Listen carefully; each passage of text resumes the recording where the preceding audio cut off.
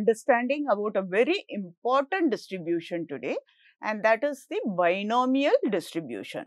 The binomial distribution is a discrete distribution and it arises naturally in a lot of applications. So, the learning objectives are first we go and we are we expect this week we will first derive the probability mass function for a binomial distribution. How does the binomial distribution naturally arise? And then afterwards we will look at understanding the effect of the parameters of the binomial distribution on the shape of the distribution we look at the expectation and variance and how do we answer certain applications based on expectation and variance. And finally, we will understand situations that can be modeled as a binomial distribution.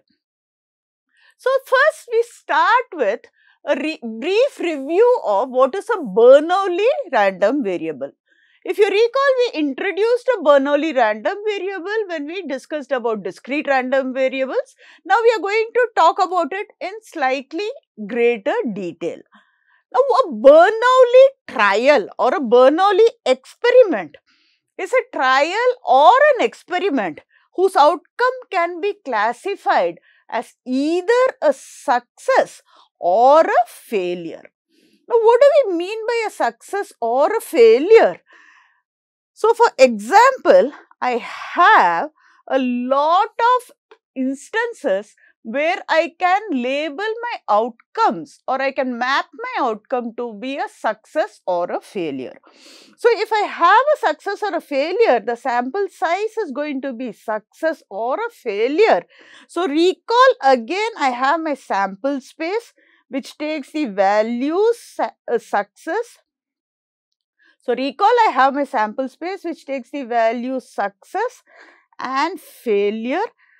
I have a random variable, I am mapping success to take the value 1 and failure to take the value 0. So, in other words, a trial or an experiment which gives me a success or a failure and can be mapped to 1 or 0 for convenience sake, we keep a 1 or 0 that is a mapping an outcome to the random variable.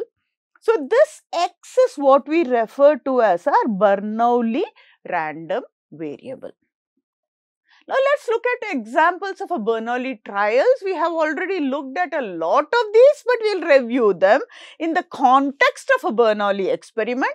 So, let us start with tossing a coin. I know the outcomes are head and tail. Now, the success can be a head I can define failure to be a tail. So, again this I can call the tossing of a coin once to be a Bernoulli trial. Now, let us roll a dice. I know the outcomes are 1, 2, 3, 4, 5, 6. Again, I do not have a two outcomes, but I can define a success to get a 6 in which case the outcomes are going to be just the singleton 6 and the failure to be any other number. So, you can see that I can define an event of getting a 6 to be a success and a failure to be getting any other number. So, I can map the success. Success is going to be just the event 6 and the failure is going to be any other number 1, 2, 3, 4, 5. So, I can define a Bernoulli trial where I define what is a success and a failure. Again, opinion polls, typically you are asking questions where the answers could be yes or a no. I can define success to be yes and failure to be no. This could be again applied in a lot of situations. For example, political electoral polls where I am asking whether we are voting for a particular candidate or not. In that case, yes could mean a success and no could mean a failure. Again, when you are having a salesperson selling a particular object, a success could be a sale, a failure could be a no sale.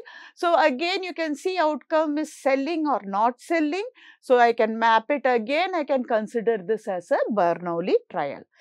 Again testing the effectiveness of a drug in pharmaceutical trial.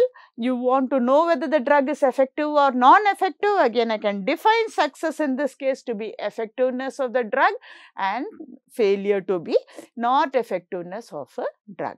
So, you can see that a lot of trials which arise in our day-to-day -day lives are actually Bernoulli trials. Let's look at an example of a non-Bernoulli trial. I just randomly choose a person and ask their age. I see that it is not just two outcomes. Outcomes are not two. Age can be anything. So, this is not a Bernoulli trial. You might argue that, okay, when I rolled a die, the outcomes are again not two. It was number of outcomes are six. But here I defined success to be obtaining a 6 and a failure to be obtaining anything else. So, the outcomes were mapped to just 2 where I termed success is to get 6. So, in other words, I could have written the sample space as getting 6 and not getting 6, two outcomes.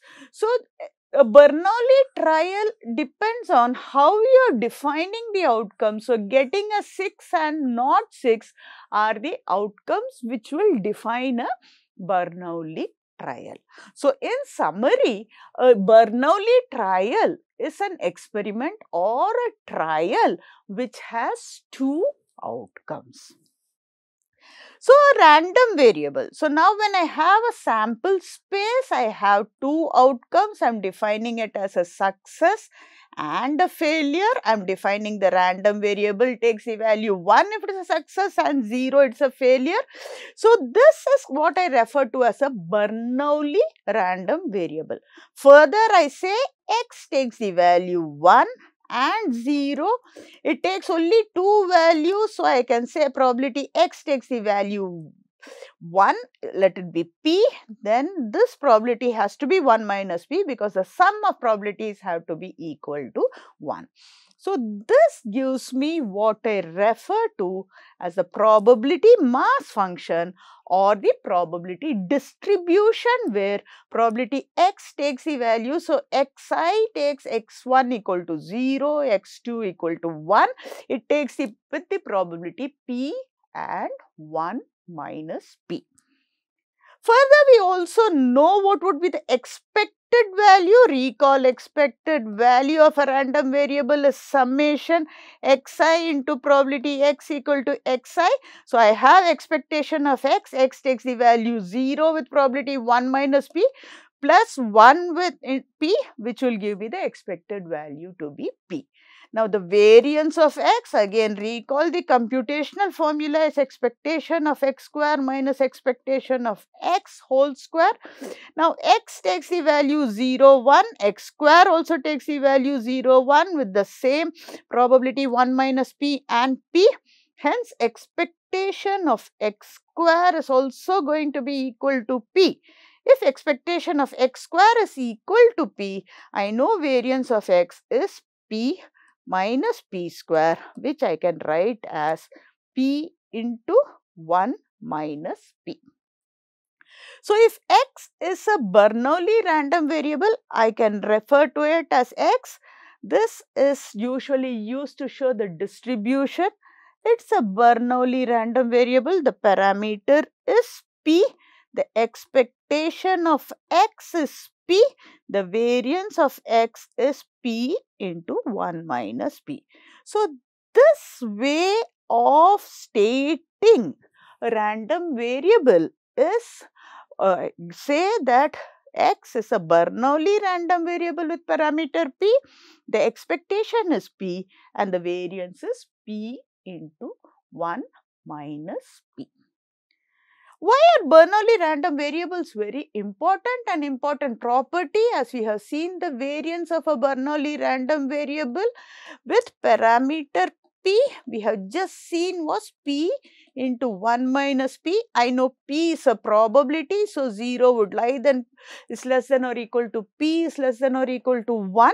We know at the extreme case when p equal to 0 the variance of x is equal to 0. When p equal to 1 again the variance of x is equal to 1 so, between 0 is less than or equal to p is less than or equal to 1 variance of x is p into 1 minus p which is p minus p square you see it is a quadratic. So, what value of p? maximizes the variance. So, I can just look at it, I know that 1 minus 2p equal to 0 is what is if f of x is equal to or f of p equal to p into 1 minus p, the first derivative would be 1 minus 2p, I equate that to 0 which gives me p equal to half. Now, what does p equal to half imply? P equal to half implies again recall there are two outcomes. This is a failure and this is a success with probability half each. So, this tells that the outcomes or the it is equally likely to fail as it is equally likely to succeed or failure and success have the same probability they are equally likely to happen. So, when there is an equal likelihood of these outcomes to happen, you see that is where the variance is. So, the largest variance of a Bernoulli distribution occurs when p equal to half. In other words, when success and failure are equally likely to occur. So, in other words, when so the largest variance says that the uncertainty is very high. So, in most uncertain Bernoulli trials resemble the tosses of a fair coin because again if you go to a toss of a fair coin, I know my sample space is going to be heads and tails and we also referred this to be success and this to be failure and I know if I have a fair coin, the chance of getting a head is the same as getting a tail, which is half. And that is what is my P, which is equally likely to happen. So, the most uncertain Bernoulli trials resemble a outcome or tosses of a fair coin. So, what we have learned in this section was we reviewed or revisited the Bernoulli trial. X is a Bernoulli random variable with parameter p. The expectation of x is p. The variance of x is p into 1 minus p which is maximized at p equal to half.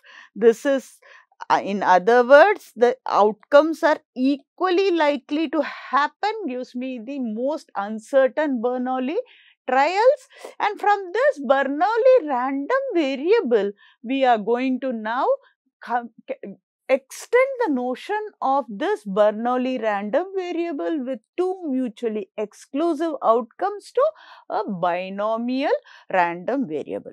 But before going to a binomial random variable, we need to understand what do we mean by independent and identically distributed Bernoulli trials.